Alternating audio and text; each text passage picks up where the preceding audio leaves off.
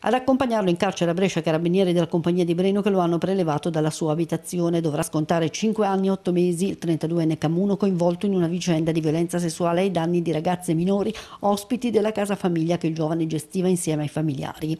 I fatti contestati sarebbero avvenuti fra il 2007 e il 2014. Le indagini condotte dai carabinieri della compagnia di Breno erano partite dalle segnalazioni di alcune delle ragazze minorenni che erano state oggetto delle attenzioni del giovane all'epoca dei fatti poco più che maggiorenne. Le ragazze avevano raccontato ai militari le attenzioni talvolta morbose seguite da palpeggiamenti delle parti intime di colui che avrebbe dovuto occuparsi della loro assistenza.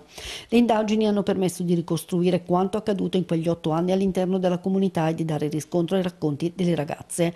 La vicenda si chiude per ora con una condanna e l'arresto del responsabile. È invece accusato di peculato, falso ideologico in atti d'ufficio, appropriazione indebita l'agente della polizia locale di Urago d'Olio, cui i carabinieri della stazione di Rudiano hanno notificato la misura cautelare di sospensione degli uffici pubblici in queste ore.